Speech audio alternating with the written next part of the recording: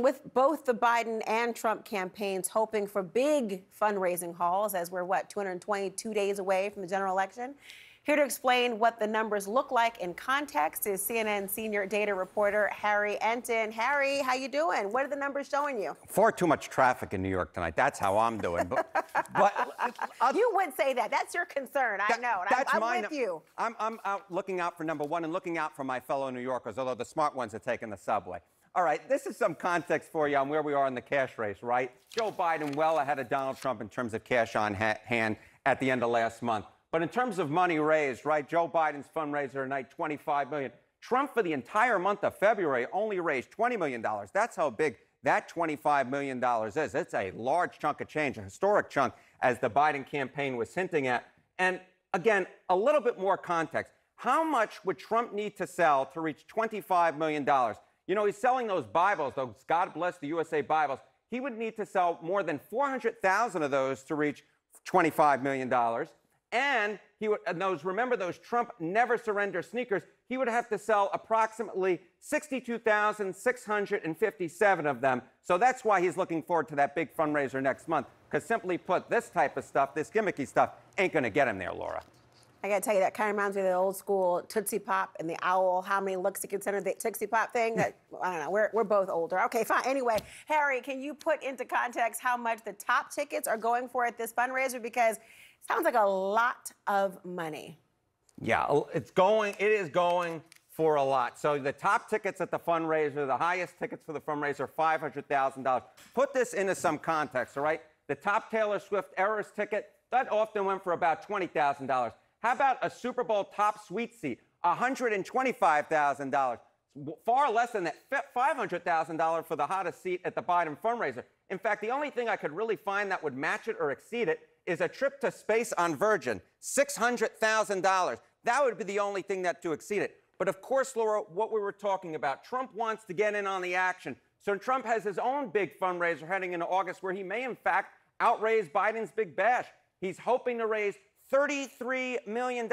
My goodness gracious. And how much for the top ticket? At this point, it's looking like $814,600. So the fact is, Biden is doing a lot tonight, but Trump may do a lot come April, Laura. Wow, that puts into context that this is a lot of money being oh, spent. Oh, yeah. Harry Enten, oh my goodness. we'll come back to you. Thank you so much. To talk about all this with Will Jawando, a former White House official under President Obama and a council member in Montgomery County, Maryland. Also, Lee Carter, a pollster and president and partner at Maslansky and Partners. And Matt Mowers, a former Trump administration official and president of Valcour Global Public Strategy. Good to have all of you here. That's a lot of money we're talking about, first of all, in terms of the from the White House to the Great White Way and Broadway and, of course, Radio City Music Hall.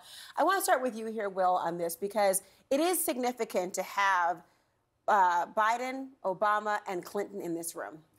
It is. It is. It's it is party unity. And look, the protesters outside, that's also Democratic Party unity. That's our big tent. That's what happens, you know. And if you saw uh, President Biden in North Carolina the other day when he got interrupted, he said they have a point. There's too much destruction going on there. He's moved. The administration has moved. The protests have worked. That's what happens in the Democratic Party. Um, but I think it's it's such a big deal when you have a contrast when the, the President Trump's vice president refuses to endorse him. And here, and, and let's let's go for even further. Mitt Romney, the last standard bearer for the Republican Party, refuses to endorse him.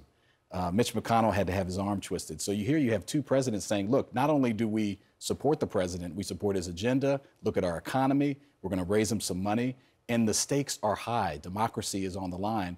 And I think you have Democratic unity, and we're going to need that going into November. Do you see this as Democratic unity when you have the protesters outside? No, and look, I think you're going to see this type of division continue to happen well into the Chicago uh, Democratic National Convention. I mean, this is going to look, uh, you know, make a lot of Democratic conventions look like uh, kids' play compared to what we're seeing. This is a consistent problem for Joe Biden. You see it in poll after poll after poll. It's the reason why he had to have Barack Obama and Bill Clinton with him on stage tonight.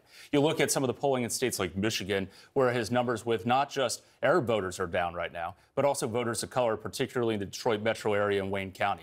You look at a number of other areas uh, in key swing states uh, that we saw even in some of the primary turnout elections, whether it was uh, Hennepin County in uh, Minnesota. Or whether some of the counties uh, in Texas in the results of Super Tuesday elections, Joe Biden is underperforming with key elements of his base right now. You saw that by the star power he had to bring out tonight inside the room, just as much as you saw from the protests that you saw outside that room two different positions here, in thinking about what this represents. Either it's a good thing or it's a uh, sort of a scarlet letter to have them there.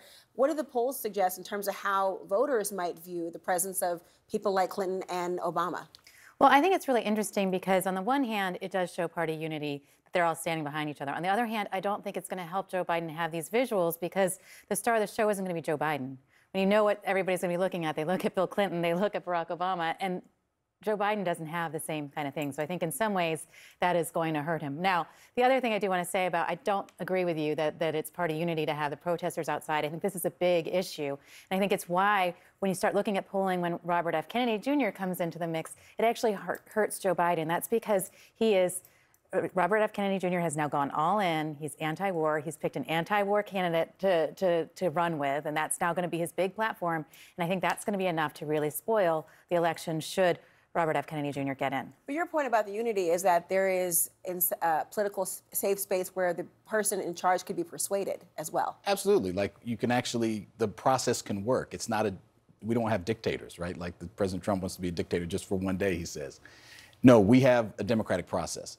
And oh, by the way, the economy is great. Crime is down. Uh, inflation's going down.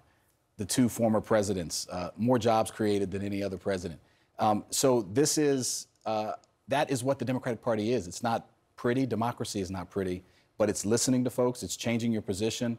It's compromise. That's what Joe Biden has done his whole career. And you remember he was Vice President Biden first. I was in that White House, and President Obama needed him in 2012 when he was running against uh, Mitt Romney to come and help him, and he needed him in 2008 to help validate him because he was the young freshman senator. So this is what you do, and, and we needed President Clinton to be the explainer in chief. I mean, when so all of these things uh, for President Biden. So that's what you do, and you're seeing unity. Meanwhile, most of Trump's cabinet wants want nothing to do with him as former vice president. So I just think it's really stark. He's playing golf uh, and going to court. Meanwhile, President Biden's going around the country and touting his agenda. That's those are two really stark contrasts. And Geoff, here we are, Easter, just a few days away. You were someone who speaks openly about your Christian faith. So I wonder what you think about this. All Americans need a Bible in their home, and I have many. It's my favorite book. It's a lot of people's favorite book. This Bible is a reminder that the biggest thing we have to bring back America and to make America great again is our religion. What do you think? I mean, how do you feel about Trump selling Bibles? Well, I do hope he has a bunch of them at his house. I hope he reads it a lot. I hope everybody does. Uh, it's certainly a great guiding light for me and my family. But at the end of the day, I don't think folks should be selling Bibles for $59.99 when they're running for president. Uh, it's it's uh, you know this is this is Donald Trump's game. Uh, he has confused the evangelical community to, to somehow conflate Christianity with conservatism, and they're not. Uh, there's going to be just as many Democrats in heaven as there are Republicans.